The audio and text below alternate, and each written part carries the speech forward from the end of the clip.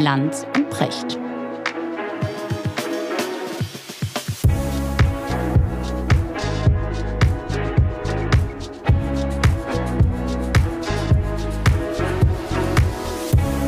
Schönen guten Morgen, Richard. Guten Morgen, Markus. So, und bevor du mich jetzt fragst, was mir durch den Kopf geht, möchte ich mal wieder wissen, was dir durch den Kopf geht.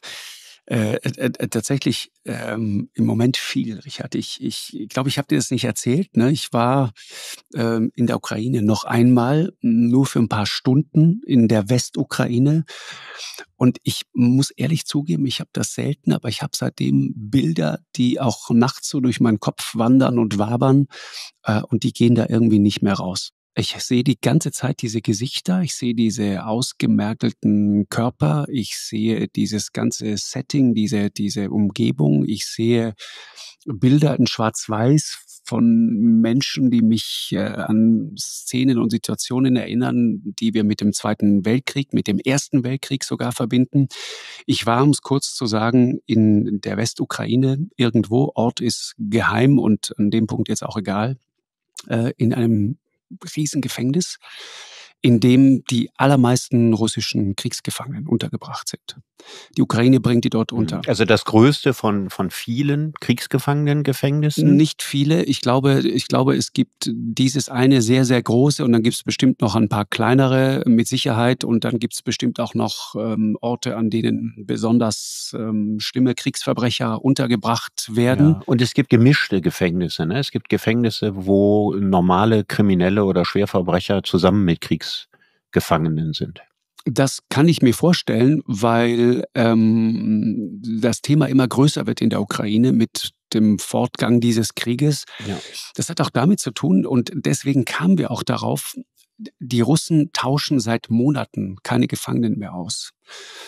Und da gibt es eine riesige Verzweiflung in der Ukraine. Ich, ähm, ich habe, ich glaube im September war es, haben wir in Kiew äh, in, in einem besonderen Department des Verteidigungsministeriums gedreht dort mit dem zuständigen Verantwortlichen zunächst mal gesprochen. Äh, Petro heißt er ein interessanter Mann, weil da steht jemand in Uniform vor dir und du erwartest sozusagen jetzt einen Militär und dann merkst du plötzlich, so wie der formuliert, wie der ist, das ist eigentlich kein Militär. Und du erlebst dann das, was du bei Besuchen in der Ukraine so häufig erlebst. Du siehst Menschen in Uniform und merkst plötzlich, ach so, warte mal, die sind ja in diesen Krieg hineingezwungen worden, aber da war natürlich vorher ein ganz anderes Leben. Es sind alles keine Berufssoldaten, die haben mhm. vorher ganz andere Dinge getan. Petro war Schriftsteller, mhm. ein, ein prämierter Buchautor, ein, ein Feingeist, wenn du so willst, mhm. der jetzt die sehr, sehr schwere Aufgabe hat, mehrere Dinge zu tun. Das eine ist, er muss versuchen, diesen, diesen ab und zu mal einen Gefangenenaustausch zu organisieren die tun sich wahnsinnig schwer, Informationen darüber zu kriegen, wo ihre Leute sind. Äh, die versuchen teilweise auch äh, russische Kriegsgefangene gegen tote Ukrainer einzutauschen. Äh, die versuchen einfach nur eine gesicherte Information zu kriegen, ob der Mann, Männer sind es ja meistens, überhaupt noch am Leben ist oder was irgendwie aus ihm geworden ist. Und erfahren auch das meistens nicht. Und dann gibt es eine Zusammenkunft regelmäßig und da waren wir auch dabei, da haben wir auch gedreht und diese diese Bilder dieser Frauen, ich habe das auch äh, mit der Kamera festgehalten und die sind auch zu sehen da in dieser Reportage. Äh, äh die, auch das sind Gesichter, die dir, diese leeren Gesichter, diese leeren Blicke, die dir nicht mehr aus dem Kopf gehen. Da sitzen diese Frauen, die alle die große Frage im Kopf haben, was ist aus meinem Mann, aus meinem Bruder, aus meinem Lebensgefährten, aus dem Vater meiner Kinder geworden. Die treffen sich dann da und Petro sagte mir, und das siehst du auch im Film, die Szene, sagt, weißt du, wir, wir geben den Leuten dann zum Teil, den Frauen, eine DNA-Probe und sagen, pass auf, wir haben einen DNA-Test, wir wissen, dein Mann ist tot. Und dann sitzt sie da und sagt, können wir das bitte nochmal machen? Könnt ihr nochmal? Ich mhm. will ganz sicher sein. Das heißt mit anderen Worten, sie wollen es nicht glauben. Und natürlich gibt es beim zweiten und beim dritten Mal auch kein anderes Ergebnis. Mhm. Das ist sehr traurig und die, die, die wissen, dass ihre Männer in, die kommen zum Teil äh, in schlimmster Verfassung aus russischer Kriegsgefangenschaft zurück, wenn sie denn überhaupt zurückkommen, irgendwo hinterm Ural, irgendwo nach Sibirien verschleppt und so weiter. Und äh, die, die kommen zum Teil zurück als, als halbe Skelette mit, mit, mit 40, 45, 50 Kilo, mit, mit schwersten Folterspuren und so weiter. Die werden systematisch äh, geschlagen und, und gefoltert und misshandelt und so weiter. Werden schlimme Dinge gemacht. Den Russen ist das so ziemlich egal. Und es, es gibt diesen äh, russischen Journalisten ähm, Arkadi Babchenko, der in dem Zusammenhang mal gesagt hat, ähm, nachdem er selber an der Front gewesen war, äh, eins ist ganz sicher, deine Heimat, Russland, wird dich immer im Stich lassen, mein Sohn, immer. Und genau das ist das Gefühl, das viele Russen auch dort haben.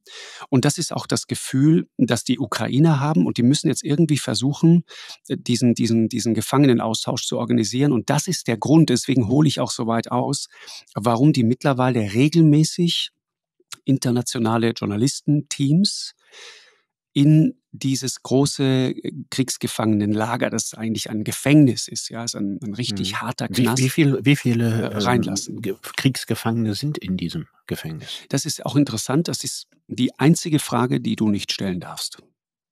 Du kriegst keine Antwort darauf. Aber ich habe die Männer gesehen, ich habe die auch fotografiert. Allein die, die wir gesehen haben, das waren, äh, also ich schätze Tausende. Und ähm, mir wurde das klar äh, in der Situation in der Kantine. Ähm, du musst dir vorstellen, du gehst in dieses Gefängnis rein, du wirst an einen Ort gebracht, irgendwo in der Westukraine. Äh, Lviv ist nicht ganz weit weg davon, um es mal so ein bisschen geografisch einzuordnen. Und dann bringen die da ab und zu Journalisten da rein. Ich kannte die Geschichte, weil auch ein Spiegel-TV-Team dort schon mal war und so weiter. Ja, das, nee, das Handelsblatt, meine ich, hätte mal darüber berichtet und die NZZ. Richtig, genau, ja, genau. Und eine die große Ukraine, Reportage gemacht. Richtig. Und jetzt mal das Motiv. Also die Ukraine zeigt dieses Kriegsgefangenen-Gefängnis ausgewählten westlichen Journalisten. Warum tut man das? Der Grund ist einfach und äh, in Wahrheit verstößt das auch ein bisschen gegen die äh, Genfer Konvention. Ne? Ähm, Artikel 13, ne? Ja, Kriegsgefangene. Abkommen über die Behandlung von Kriegsgefangenen. Richtig, mhm. sollten auch nicht sozusagen der öffentlichen öffentlich Neugier preisgegeben, preisgegeben werden. werden. Mhm. Genau so ist die Formulierung. Äh, und das kann man auch durchaus so sehen. Es ist völlig klar, wir werden da als, als Journalisten, werden wir da zum Teil des Spiels, der, der Propaganda, wenn du so willst. Äh, das ist gar keine Frage und das, da sollte man auch nicht drum herum reden, das muss man sich klar machen. Ich äh, verstehe trotzdem die Motivation der Ukraine. Die Ukraine sagt, wir müssen irgendwie Druck aufbauen. Wir müssen Öffentlichkeit herstellen. Wir müssen irgendwie versuchen, da wieder Bewegung reinzukriegen. Da ist eine Damit große der Gefangenenaustausch wieder aufgenommen wird. Auch mit, genau, das ist mit das Motiv. Großen, genau, das ist das Motiv. Okay. Mhm. Und das Zweite ist, was, was du dann natürlich auch verstehst, man könnte sagen, gut, wenn man kontrollieren will, ob es denen gut geht, Gut ist ein großes Wort in dem Zusammenhang. Aber ob die Leute einigermaßen gut versorgt sind äh, mit, Essen, mit medizinischer Versorgung und so weiter, äh, dann kann man das ja auch, ähm, man kann das Amnesty machen lassen, man kann das andere Staaten machen lassen, man kann das Staatsanwälte machen lassen, ne? man kann das äh, die UN machen lassen und so weiter. Aber es ist natürlich schon sag mal, auch für die Ukraine baut sich da auch ein Druck auf. Du, du kannst dich nicht trauen, internationale Presse in ein Kriegsgefangenenlager zu lassen, wenn du die Leute nicht einigermaßen vernünftig behandelst. Mhm. Und es ist interessant, weil du dann anfängst, über die Begrifflichkeit nachzudenken. Ne? Wir hören Kriegsgefangene. Eigentlich ist der Begriff Kriegsgefangene völlig irreführend an dem Punkt. Mhm. Das sind Leute, die sind ein Pfand. Und das ist ein wesentlicher Unterschied, weil wenn du, wenn du ein Gefangener bist, wenn du ein verurteilter Mörder ja, ja, wirst du nicht ausgetauscht. Na, na, vor allen Dingen, du hast dann eine Uhr. Vom ersten Tag an tickt die Uhr. Ja. Und egal wie lange es dauert, aber morgen ist schon wieder ein Tag weniger. Ja. Das ist die Hoffnung an der Strohhalm, an den die sich klammern. Und dieser entscheidende, wie ich finde, wirklich psychologisch unendlich wichtige, wertvolle Strohhalm, den haben die nicht. Das heißt, auf die Kriegsgefangenen wartet kein Prozess da, also auf die Kriegsverbrecher definitiv, aber ich ja, glaube, die aber auf sind die, sagen wir, normalen gefangenen Soldaten wartet kein Prozess, sondern die, da ihr gebt uns Leute und dann das kannst du ja auch in Israel gerade wieder sehen, ne? Hamas und so weiter und dann wie kriegen wir unsere Geiseln daraus und was müssen wir denen dann im Gegenzug geben und da werden teils echt. Genau.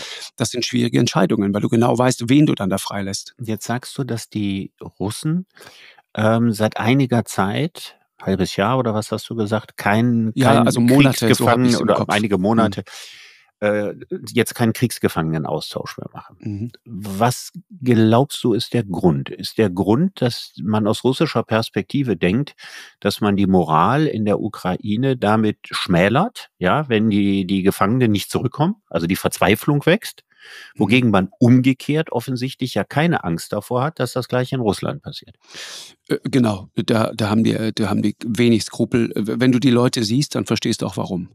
Äh, aber äh, natürlich ist das der Grund, diese ukrainische Gesellschaft zu, zu destabilisieren. Das sagt Petro auch in diesem Gespräch. Man will die Moral der Ukraine einfach brechen und die mhm. brechen sie damit auch. Ne? Das sind, es ist wirklich traurig und tragisch, das mit anzusehen, wie verzweifelt die Leute sind. Und es ist ähm, umgekehrt auch, und, und da merkst du dann, wie schnell du in diesem ganzen Spinnennetz aus Lügen und aus Manipulation, wie schnell du da drin bist. Weißt du, von außen sieht das so aus, okay, die Sache ist sehr klar, da gibt es dieses, dieses Gefängnis, das ich, ich, ich habe ein, ein, ein, düsteres Foto gemacht, als ich da raus bin. Da, da, da siehst du in dieser, dieser, diesem Halbdunkel, äh, äh ist schon fast Nacht und diese, diese alten Sowjet-Straßenlaternen, äh, postsozialistischen Straßenlaternen leuchten da so vor sich hin und im Lichtschein einer dieser Laternen steht so ein alter weißer Lader und dahinter baut sich dieses Gefängnis auf, diese, diese weiße Mauer, ja, mit, zum Teil so halb verrottet. Das erinnert ein bisschen an das, was du in Kuba auch siehst. Ja, so sowas, sowas äh, morbides. Morbides. Mhm. Ja, wirklich morbide. Äh, und dann, dann geht der eine äh, Gefängniswärter geht dann da, packt seine Tasche und geht nach Hause und läuft über diese äh, einsame Straße da vorbei, einfach so ins Nichts und verschwindet in der Dunkelheit man, man, man, man kriegt das, und deswegen geht mir das auch so, so schwer aus dem Kopf, du kriegst das nicht zusammen, dass das Europa 2023 sein soll. Mhm. Letzten Endes wenige Autostunden von, von, von, von Polen, von Krakau, von Warschau entfernt und so weiter.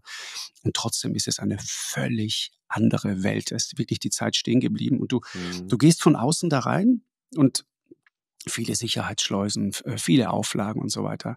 Äh, vor allen Dingen die Auflage, wenn, wenn Leute nicht mit euch reden wollen, dann respektiert das, dann redet auch nicht mit ihnen, macht keine Interviews, fotografiert sie auch nicht und so weiter. Und natürlich haben wir uns daran gehalten.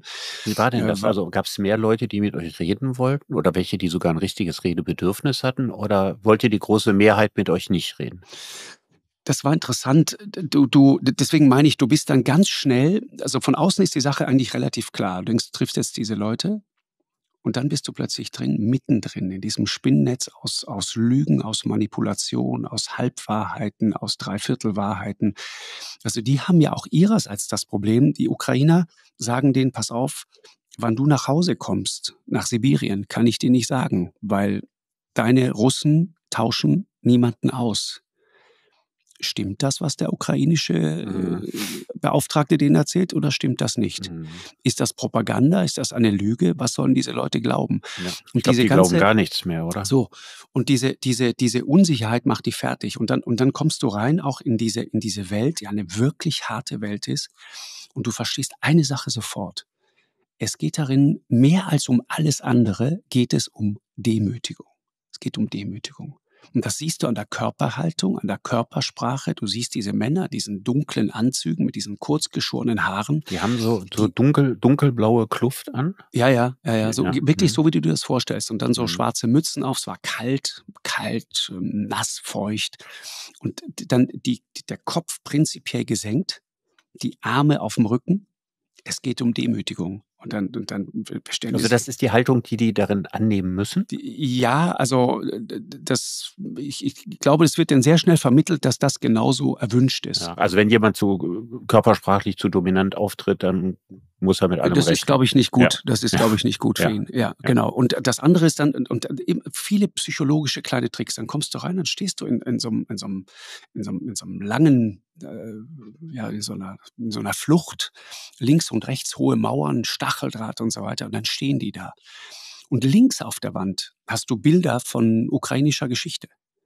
Rechts an der Wand hast du Bilder von großen ukrainischen Sportlern beispielsweise. Da hängen auch die beiden Klitschkos. Da hängen Vitali und Wladimir Klitschko mit Box-Weltmeisterschaftsgürteln. Äh, also als Poster. Ja, als, als Fotos, als große ja, Fotos. Ja. Und zwar immer, um denen zu sagen, Freunde, pass mal auf.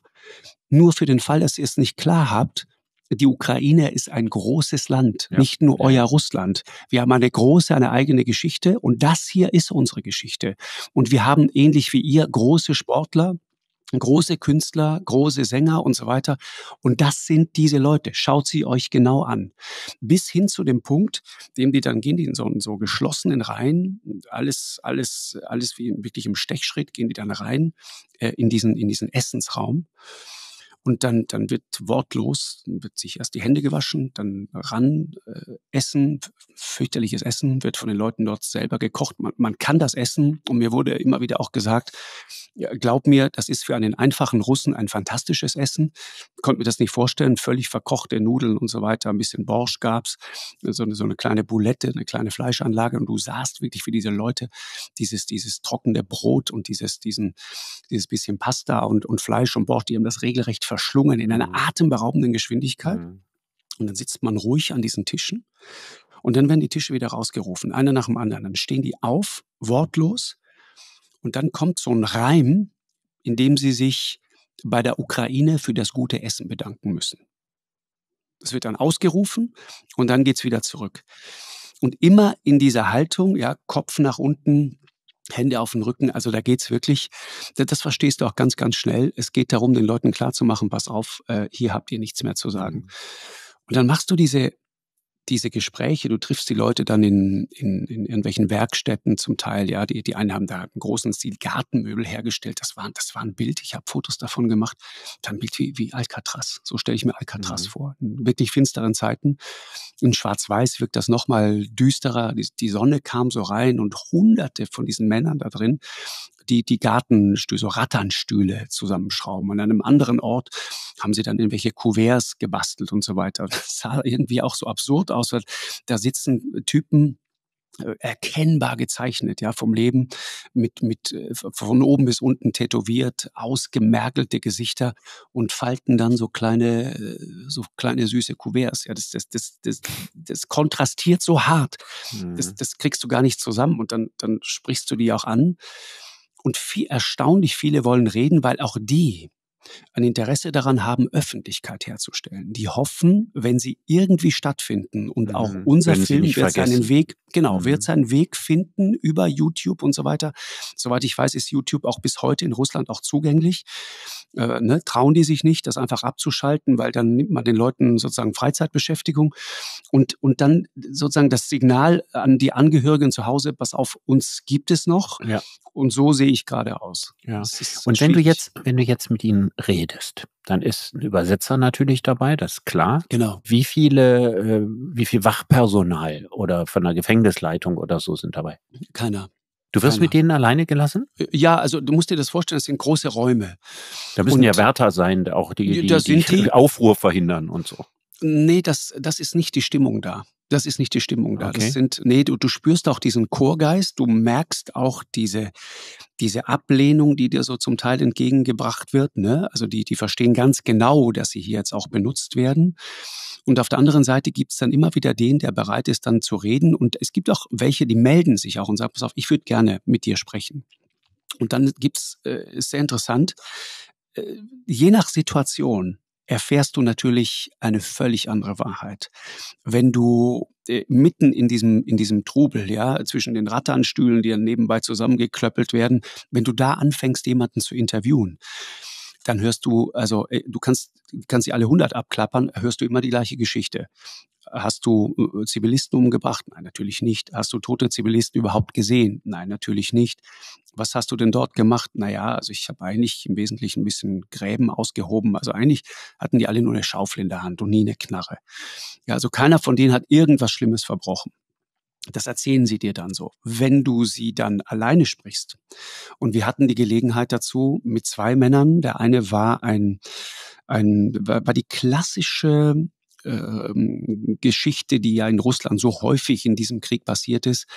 Äh, ein, ein Mann aus dem hinteren Sibirien, ich glaube in der Nähe von Vladivostok sogar, der sagte, naja gut, er hatte da hm, diesen Abend und es wurde sehr viel getrunken und ich nehme an, es war Wodka und äh, sein Freund war da auch dabei und dann hat man sich erst sehr nett unterhalten und dann ein bisschen weniger nett und irgendwann gar nicht mehr nett und irgendwann war der eine tot und dann einfach umgebracht. Die sind in Streit geraten und hat ihn einfach umgelegt so.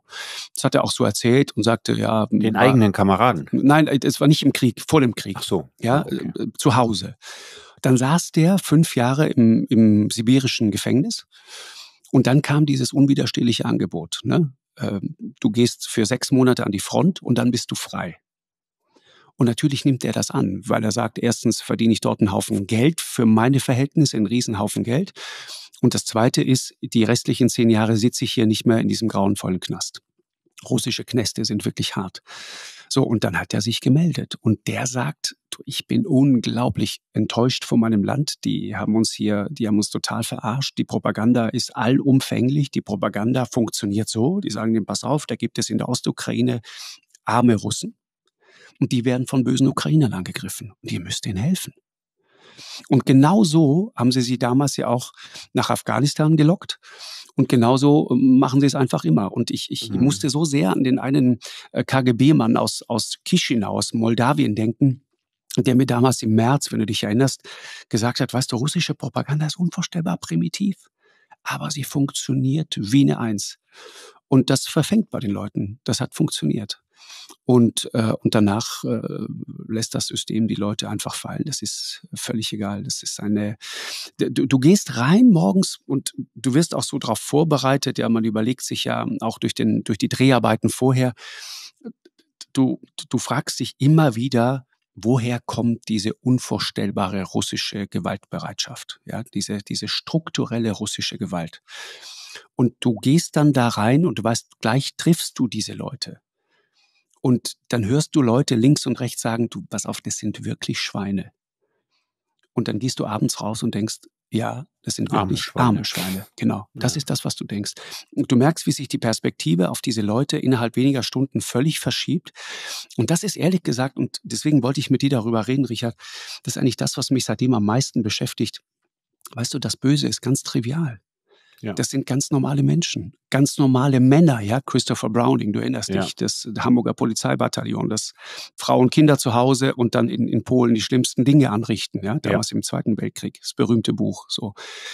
Und die große Frage ist, woher kommt das? Die Antwort ist Ideologie. Also die Macht von Ideologie. Das ist, die eine, das ist aber die eine Antwort. Und was also die, die eine Antwort ist natürlich, die, die, die Leute zu verführen und ihnen eine passende Geschichte aufzutischen, die sie glauben. Aber das Zweite ist Konformität. das ist ja auch das, was in der Geschichte von Christopher Browning äh, so, so, so ein deutliche Moral Teil, war. Die Leute Teil der sich, Gruppe sein. Du bist Teil der Gruppe, Befehl ist Befehl. Das, was du tust, gilt vor, von den Offiziellen als ordentlich, als richtig, als das soll man tun, das ist gut. Mhm. Ja, und wenn es die abscheulichsten Verbrechen sind, wenn es für deine Vorgesetzten in Ordnung ist, wenn es für deine Kameraden in Ordnung ist, dann neigen ganz, ganz viele Menschen dazu, das in Ordnung zu finden. Mhm. Das ist das äh, Harald Welzer, äh, der das ja auch äh, ausführlich untersucht hat. Ja, Sönke Neitz immer, auch, ne? Sönke ja, Sönke, und, Harald Welzer. und Harald Welzer haben dieses ergreifende Buch Soldaten geschrieben. Hast du das mal gelesen? Ich habe das äh, äh, nicht nur gelesen, das steht ja sogar 80 Zentimeter von mir entfernt, gerade im Regal, weil ich gerade auf, auf diese, diese äh, Höhe meiner Bücher gucke. Äh, das kann man kaum lesen, so gruselig ist das. Das beruht also auf Abhörprotokollen von kriegsgefangenen Wehrmachtssoldaten, genau. die in der Kriegsgefangenschaft abgehört wurden, das aber nicht wussten und die sich da so mit größter Selbstverständlichkeit äh, den brutalsten äh, Taten rühmen ja, und da so alltäglich drüber reden und drüber lachen, keine Reue, kein Schuldbewusstsein und nichts. Und dieses Buch zeigt halt, wie Menschen im Krieg verrohen, und zwar einerseits, wie du ja richtig sagst, durch Ideologie, ne, waren, viele waren Rassisten, mhm. aber selbst diejenigen, die keine Nazis waren oder keine Rassisten waren, haben ja auch fürchterliche Verbrechen getan. Manche waren ja auch nur ganz normale Zyniker und ganz viele sind durch die Kriegssituation ja, zu Zynikern, Verbrechern und amoralischen Menschen geworden. Mhm. Und in der Kriegssituation selber war das, was sie taten, ja in Ordnung. Das war ja sozusagen vorgeschrieben. So, so sollte man ja sein. Ja, der deutsche Soldat sollte ja diese, diese ganzen äh, kriegerischen Handlungen und diese ganzen Verbrechen und alles das begehen. Und wenn es in Ordnung ist, dann ist es in Ordnung. Und das war das, was sich in den Köpfen dieser Menschen festgesetzt hat. Und das ist das, worüber wir heute unsere Köpfe äh, schütteln mhm. und uns überhaupt nicht vorstellen können, wie ganz normale Menschen in Kriegssituationen zu völlig amoralischen Menschen werden. Ja, und Harald Welzer, der ja sagt, Menschen sind seiner festen Überzeugung nach grundsätzlich zu absolut allem fähig. Ja, man denkt glaube, immer, nein, das glaube ich im Leben nicht, ja, glaube ich nicht. Ja, aber wir können uns die Situation eben nicht vorstellen. Ne? Richtig, das ist nicht, Punkt. nicht unter komfortablen Lebenssituationen, ja, aber in Extremsituationen. Ja, das ist ja, das ist dieser Mechanismus des Krieges. Ähm, es gibt da ja auch viele Untersuchungen dazu. Einen Menschen zu töten fällt den aller, allermeisten Menschen Gott sei Dank schwer. Ja, das ist rein biologisch schon schwer. Es ist, äh, es gibt die ventromediale Region des Schläfenlappens. Das ist sowas wie die, wie die äh, Zentrale äh, unserer Moralverarbeitung, wo unsere Entscheidungen getroffen werden im Gehirn. Mhm. Und äh, da gibt es so in, drin sowas wie eine sinnlich-affektive Tötungshemmung. Es fällt Menschen schwer, andere Menschen zu töten und je unmittelbarer, umso mehr. Also jemand zu erwürgen ist mhm. hundertmal schwieriger, als auf den Knopf zu, drücken und jemand ja. ist weg. Ja. Ne? Und erschießen macht die Sache auch schon leichter. Je abstrakter das Töten, ne? mit einer Drohne, Klar. Ne? das fällt vielen Menschen nicht schwer. Aber jemanden zu erstechen oder zu erwürgen oder sowas fällt den meisten Menschen schwer. Aber, und das ist das Grausige, beim ersten Mal. Exakt. Wenn man das hundertmal gemacht hat, dann ist das nicht mehr wie beim ersten Mal. Dann setzt dieser fürchterliche, abscheuliche Verrohungsmechanismus ein. Ja, und im Krieg, wenn man, wenn man weiß, der andere bringt dich auch um, fühlst du dich ja auch moralisch legitimiert. Es muss irgendwann gar nicht mehr um dein Vaterland gehen oder so. Es geht einfach auch darum, entweder der oder ich. Mhm. Ja, und dann kommt diese, kommt diese, diese archaische Moral, die an die Stelle all deiner feinen und sensiblen äh, Moralempfindungen tritt. Ja, ist, ist richtig. Ich meine, äh, weil du das, das Buch gerade zitierst, ne? Soldatenprotokolle vom Kämpfen, Töten und Sterben heißt das, glaube ich, in, in, ja. in, in ganzer Länge. Ähm, 150.000 Seiten lagen da am Ende vor, von Briten und Amerikanern in speziellen an Abhörprotokollen. An Abhörprotokollen, ja. genau. Und ich fand es interessant. Mir war das, ich hatte immer wieder, weil Sönke Neitzl ist regelmäßig bei uns zu Gast, jetzt gerade auch im Kontext des Ukraine-Krieges. Ja, Histo Militärhistoriker. Militärhistoriker. Genau. Ja. genau. Der äh, zufällig auf diesen Fund gestoßen ist. Ne? der, der saß, glaube ich, im, im Lesesaal des, des Nationalarchivs in London und hat dann plötzlich gesehen, ach, da gibt es nicht nur die offiziellen Verhörprotokolle, sondern gibt es eben diese heimlich aufgenommenen Mitschnitte. Äh, und da hast du dann vom, vom Oberleutnant bis hin zum, zum einfachen Gefreiten alles drin. Und es gibt da so ein paar Zitate, äh, wo zum Beispiel so ein Oberleutnant der Luftwaffe am 17. Juli 1940 sagt, es ist mir ein Bedürfnis geworden, überleg dir das mal, Bomben zu werfen. Das prickelt einem ordentlich. Das ist ein feines Gefühl. Das ist ebenso schön, wie einen abzuschießen. Das sagt ein Mensch, der wahrscheinlich in, in Deutschland ein ganz normales bürgerliches Leben gelebt hat und der das war, was man einen, einen anständigen Deutschen nannte. Hm. Ich hatte äh, das Gefühl auch in den Gesprächen mit diesen Männern, wenn du einmal über diese Grenze gegangen bist, gibt es kein Zurück mehr. Du bist eine verlorene Seele. Ja, und du, du, du willst auch über diese Grenze nicht mehr zurück. Und der zweite Teil, den du dann immer mitdenken musst, ist, diese Leute kommen irgendwann wieder in eine ganz normale Zivilgesellschaft zurück. Ja wen lässt du da auf die Zivilgesellschaft los? Weil diese Leute wollen im Kopf nicht mehr zurück.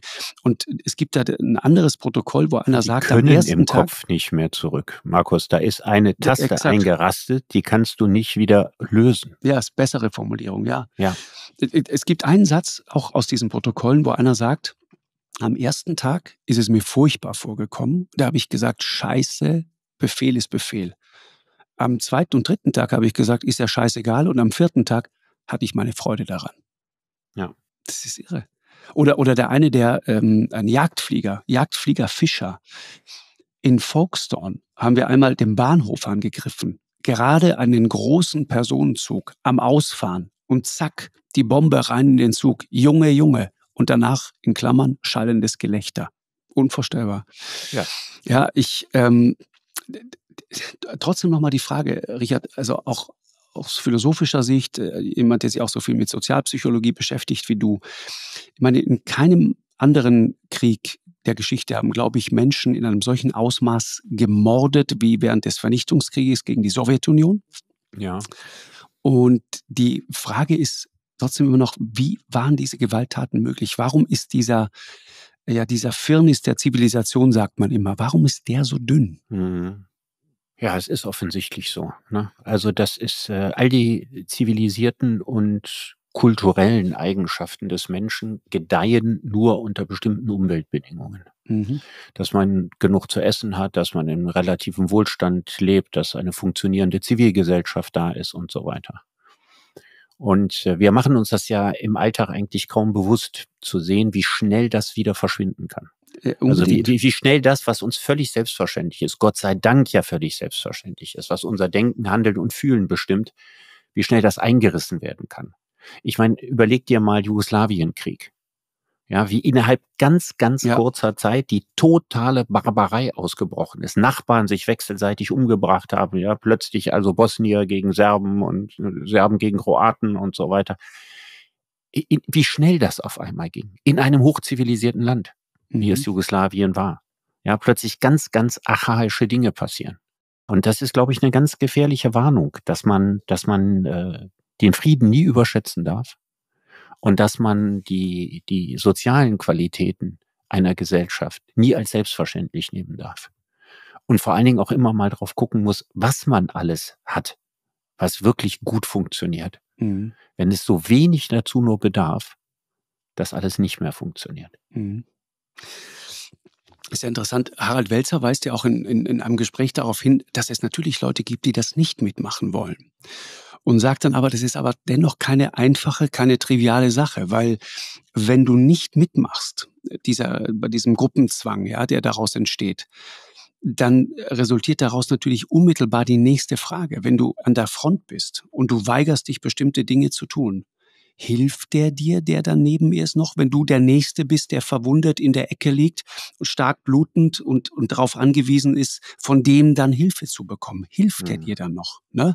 Also sozusagen die Sorge um die eigene, das eigene nackte Überleben führt natürlich auch dazu, dass du sagst, okay, dann bin ich aber im Sinne der Gruppe, damit die anderen mich nicht so als Störenfried wahrnehmen und so weiter.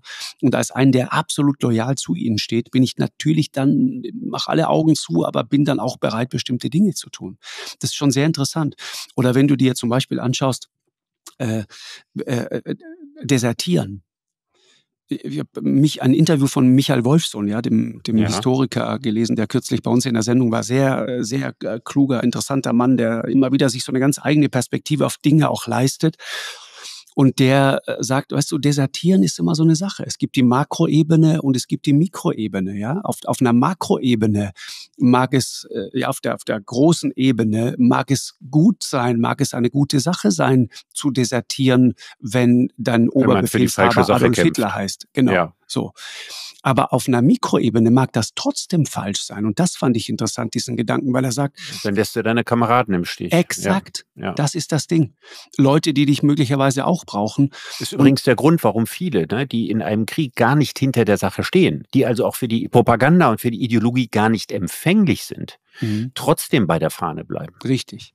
Ja, weil man vielleicht auch beste Kumpels und Freunde dabei hat und weil man auch von denen nicht im Stich gelassen werden will, wenn man sich bei der Nachtwache davonschleicht oder was auch immer, ja, und die in Lebensgefahr bringt. Ja, das sind, das sind, äh, das ist ja irre. Ich meine, es gab so einen Spruch in der, in der Friedensbewegungszeit. Ja, also du kennst ja diesen, diesen Spruch, stell dir vor, es ist Krieg und keiner geht keiner hin. Geht hin. Ja, ja, genau. Ja, mhm. und es gab auch den Spruch, ähm, die wahren Helden der Kriege sind die Deserteure. Ja, weil dahinter die Vorstellung geht, wenn alle desertieren, gibt es keinen Krieg. Mhm, genau. Das mag auf der Makroebene die eine oder andere Berechtigung haben, über die man jetzt lange kontrovers diskutieren würde. Ja, Wolfsohn würde das sicher ganz anders sehen. Aber auf der Mikroebene ne, ist natürlich Desertieren immer ein riesiges Problem. Richtig. Ja, und es ist ein, das große Problem gegenüber den Kameraden. Und das macht die Sache natürlich unglaublich schwierig. Betrachte ich den Menschen als diesen einzelnen Fall, betrachte ich ihn als Teil einer Armee. Ja, man freut sich über jeden Soldaten, der aus Putins Armee äh, desertiert. Ja, wenn er aus der Ukraine desertiert, sehen wir das schon wieder mit anderen Augen. Richtig. Ja, weil es ja die Frage ist, auf welcher Seite man dann steht. Aber das individuelle Schicksal, das nähert die beiden Soldaten wieder enorm aneinander an. Ja, beide wollen nicht ihr Leben in diesem Krieg verlieren. Und da sind sie sich auf einmal völlig gleich, ganz egal, für welche Armee sie kämpfen. Mhm. Ja, es ist, es ist auch, ähm, äh, wenn man mal zurückschaut, es gab, erinnerst du dich an den Fall Bo Bergdahl? Das ist ein, eine Geschichte, die 2014 spielt. Der letzte US-Soldat, der aus der Taliban-Gefangenschaft befreit wurde. Äh, Barack Obama ist Präsident äh, und der, der zeigt, wie kurz der Weg sozusagen vom Helden zum Verräter sein kann. Obama sagt, wir haben den da jetzt rausgeholt, das ist ein, ein, ein, eine große Freude, die ganze Nation teilt diese Freude und so weiter. Und dann kommt wenig später raus, der war desertiert der war jemand, der abwesend war, ja, absent without leave sozusagen. Der, der, der, der war weg. Mhm. Und dann schlägt die Freude äh, über die Befreiung äh, dieses jungen Mannes komplett um, ja, in, in Hass und so weiter. Am schärfsten natürlich bei den, bei den harten Rechten in Amerika und so weiter. Und Donald Trump nennt ihn dann einen dreckigen, dreckigen, miesen Verräter. Ja, und dieser Bergtal hat hinterher erzählt, er ist nach Afghanistan gegangen, weil er Jason Bourne sein wollte. So ein richtiger Draufgänger. Ja. Mhm. Also, und die triffst du da übrigens auch, ja. Die, die habe ich dort auch getroffen. Männer, das siehst du denen auch an und wenn du dann merkst, wie sie mit dir reden, das sind einfach so Draufgänger. Die haben wenig zu verlieren und die wollten jetzt mal wirklich was erleben. Die haben auch, glaube ich, vorher zum Teil schon schlimme Dinge getan, aber viele halt eben auch nicht. Nur, das ist sehr interessant, wie dann, wie dann plötzlich, ja, die große äh, Kriegsheldengeschichte, die kippt komplett und plötzlich hast du den, den miesen Verräter da und alle fallen über den her. Er hat es dann hinterher versucht, versucht zu erklären und sagte, da gibt es äh, Führungsversagen bei den Vorgesetzten und so weiter. Äh, aber ich ähm, äh, glaube, dann entsteht halt. Das kann ja auch sein. Das kann ja auch sein. Kann du sein. weißt ja nicht, welche Einheit er war, unter welchen Bedingungen, warum er weggegangen ist. Vielleicht war es auch einfach nur Angst. Vielleicht ja. war es auch einfach nur Angst und es ist völlig okay, in so einer Situation Angst zu haben. Ich erinnere mich an, an einen, den wir da gesprochen haben, der ist auch in einem Film äh, das hat mich wirklich bewegt. Wir zeigen die Szene nicht, wo er am, am Telefon, die, die, die dürfen regelmäßig stehen dann auf so einem Flur und warten dort, dürfen regelmäßig nach Hause telefonieren und werden auch interessanterweise von ihren russischen Familien nicht großartig in irgendeiner Form mal besucht oder so. Die würden sogar das möglich machen. Die wollen aber eigentlich nur wissen, dass es denen gut geht und sagen dir, bleib mal, wo du bist die eigenen Familien sagen denen häufig, pass auf, bleib, wo du bist. In der Ukraine bist du sicherer als bei uns zu Hause. Das ist auch hart. Das erzählt viel über ein Land. Und dieser Mann, äh, auch aus Sibirien, der war ähm, unter Umständen, die man sich irgendwie gar nicht vorstellen kann, äh, wirklich miese Propaganda, ein, ein Geflecht aus Lügen und Verirrungen und Verwirrungen in diesen Krieg reingeraten. Es war ein Bauarbeiter, der wollte in die Ostukraine, in den Donbass, um dort Häuser zu bauen weil man dort gutes Geld verdienen konnte.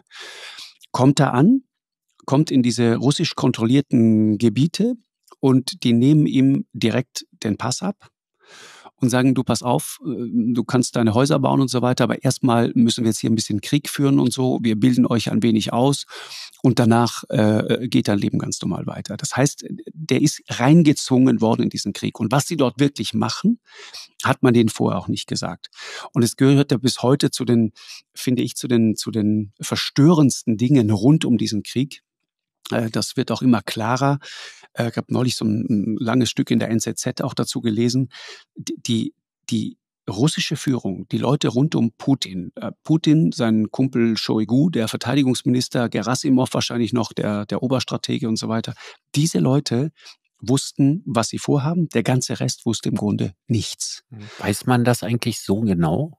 Ja, das weiß man mittlerweile, glaube ich, ganz gut. Woher genau, kann ich dir jetzt auch nicht beantworten. Ja, aber ja weil ich meine, das ist ja nicht einfach zu wissen. Ne? Also da müssen ja Leute aus dem, aus dem Inner Circle erzählt haben, dass sie nicht eingeweiht gewesen sind. Ja, aber, aber das kann ich mir kaum ja, vorstellen. Oder? Ja, aus dem Inner Inner Circle vermutlich nicht, aber es ist erstaunlich, wie, wie, wie doof die Leute da gehalten wurden. Und wenn du siehst, wie es dann abgelaufen ist, verstehst du das auch. Und wenn du die Geschichte äh, dieses Mannes hörst, dann verstehst du es auch.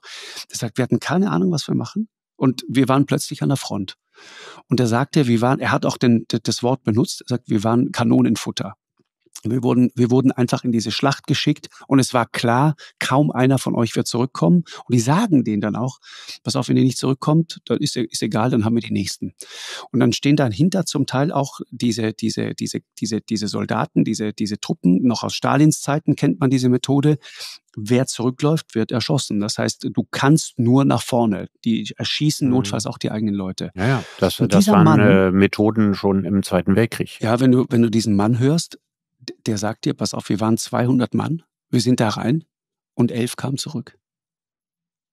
Stell dir das mal vor. Ja.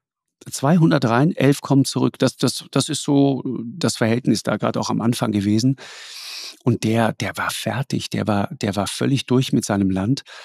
Und da habe ich auch wieder gedacht, es ist unvorstellbar, wie stark Ideologie ist. Ne? Ich, kennst du den Sozialpsychologen Solomon Ash?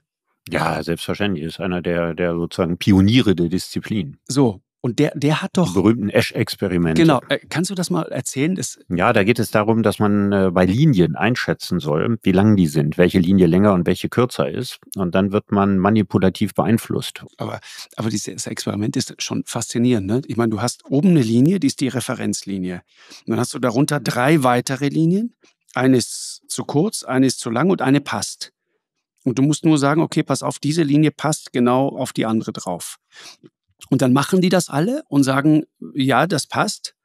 Und dann setzt du Einflüsterer plötzlich dazu und machst die Leute systematisch wuschig, quasi Propaganda. Mhm. Und sagst du, nee, überleg nochmal, ist die wirklich und könnte es nicht eher die? Und am Ende sagen die, und ich, ich glaube, in diesem Experiment, jeder Vierte oder so war in der Lage, diesen Einflüsterungen zu widerstehen. Der Rest hat aufgegeben. Mhm. Genau, hat sich dann dem angepasst und ja. gedacht, naja, gut, wenn der das jetzt schon so sagt und ja und so weiter. Also man vertraut dann auf sein eigenes Urteil oder auf den eigenen Instinkt nicht. Nicht mehr, genau. Aber äh, man denkt, es ist dann so offensichtlich und es gibt eine interessante Erklärung, die ich äh, auch für komplett plausibel halte. Eine Begründung, die, glaube ich, äh, der ein oder andere da auch geäußert hat und sagt, du, pass auf, ich, ich wollte einfach meine Ruhe haben. Ich wollte jetzt da keinen Ärger haben. Ich wollte jetzt einfach ja raus aus der Nummer. Ich, es war mir unangenehm. Aber das ist eine ganz normale menschliche Verhaltensweise. Seine Ruhe haben wollen, keinen Ärger haben wollen, nicht auffallen zu wollen, nicht anecken zu wollen. Mhm. Ja, und das sind natürlich alle Fähigkeiten, die man beim Militär auch braucht. Mhm. Das merkst du da auch übrigens, ne? wenn du da bist. Das geht ganz hart mit, mit Befehl und Gehorsam. Ja, aber das ist, äh, jede schlagkräftige Armee operiert so. Mhm. Ja, ja, ja ich du, weiß. Du warst ja da. Also ich meine, du hast mir ich noch nie so genau erzählt, aber ich meine, du wärst beim italienischen Militär gewesen. ich, ich, ich ähm, so, so diese, äh, das, was da sozusagen dieser strukturelle Teil von Demütigung ist, ne, was man auch immer über die russische Armee hört, der, der, die, die, die, diese Großväterkultur, ja, also dann, dann wird in den Stiefel gepisst und dann musst du aus diesem Stiefel trinken und so weiter und so fort. Leute werden zum Teil zu Tode geprügelt, also junge Rekruten und so. Äh, oder, oder, oder müssen dann irgendwie, weiß ich, Schuhcreme auf, auf ihr Butterbrot schmieren und dann essen und so. All solche Dinge, diese Art von Demütigung, die gibt es ja in, in der russischen Armee bis heute. Und wohlhabende Familien kaufen deswegen auch ihre Söhne vom Armeedienst einfach raus, weil sie möchten, dass sie, dass sie weiter am Leben bleiben. Das ist äh, strukturelle Gewalt. Aber dieser Begriff des Großvaters, den hast du zum Beispiel auch, auch wir hatten das in unserer äh, Einheit, den, den gab's. Jeder wusste, wer die sogenannten Nonni. Der Nonno ist der Großvater. Und es war völlig klar, wer die Armee sind. der Welt. Ja, also ja. vielleicht von sehr, sehr wenigen Ausnahmen abgesehen. Aber das, das ist so was, ich meine, das ist, hat es wahrscheinlich schon mal in Römern gegeben. Ja, also ich glaube, das sind diese, diese Strukturen, in denen Hierarchie verinnerlicht wird. Ja, ich, ähm, wie gesagt, in, in, in weit schwächerer Form äh, bin ich fest davon überzeugt, gibt es das in jeder Armee und auch wir haben das damals dort so erlebt. Und äh, du merkst, du kommst da rein, ne, dieses System in so eine riesige Kaserne, waren da, weiß ich, 2000 Leute oder so. Und, und du kommst da rein und die, die Verunsicherung ist ja unglaublich groß. Ja, da, da, da kommt so ein einfacher Junge vom Dorf irgendwie und kommt rein in dieses System, fremde Stadt, dann rein in so ein, in so ein System. Äh, da ist der Wunsch sozusagen nicht aufzufallen, maximal groß. Du willst nicht unangenehm auffallen, sondern du willst einfach irgendwie durchkommen, irgendwie mitschwimmen. Das ist das Gefühl. Und deswegen übrigens dieses System der, der Nonni, ja, dieser Großväter, dieser, dieser sadistischen Typen, das ist natürlich nicht nur Sadismus, sondern das ist schon auch genauso gewollt, genau. weil es natürlich dazu führt, du, du hoffst, ich weiß doch dieses Gefühl, der Typ, mit dem ich jetzt hier zu tun habe, mein Vorgesetzter, der nur noch drei Monate hat oder so, ja, das ist dann der Nonno. Äh, und hoffentlich erwische ich einen netten Typen. Hoffentlich mhm. ist das ein anständiger Typ. Deswegen ist einer der Gründe, warum ich so sehr dagegen bin, Berufsarmeen zu haben.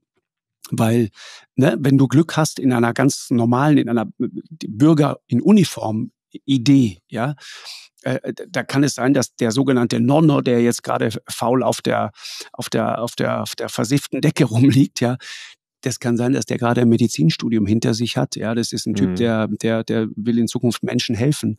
Der, das ist kein Sadist, den du da triffst. Aber wenn du da so Leute hast, die sonst wenig im Leben vorhatten und dann einfach als letzten Ausweg den Weg in die Armee gewählt haben, kannst du dir nie sicher sein. Es gibt auch da sehr, sehr anständige, ganz zweifellos. Gehen wir mal fest von aus. Genau, Gott sei Dank. Aber es gibt auch echt schwierige Kandidaten. Das ist der Punkt. Sag mal, wann wird denn deine, deine Dokumentation ausgestrahlt? Am äh, Dienstag, äh, 22.45 Ja, ich glaube, gibt ein eindrückliches Bild davon, was dieser Krieg mit dieser ukrainischen Zivilgesellschaft macht, aber auch wie sehr er auf so vielen Ebenen äh, Menschen zerstörerisch und, und ihr Leben ist. ja zerstörerisch ist und einfach alles kontaminiert und es ist einfach klar, es gibt kein danach mehr, das so ähnlich sein wird wie das vorher. Das Jedenfalls nicht in den beiden nachfolgenden Jahrzehnten Richtig. oder solange diese Generation noch lebt. Ja. Also. Furchtbar. Ja, okay, ich werde es mir anschauen. Äh, danke dir. Richard, wir hören uns nächste Woche. Ja. Äh, mach es gut und ja. bis wow. bald. Ja, tschüss, Markus. Tschüss. Eine Produktion von M2 und Podstars bei OMR im Auftrag des ZDF.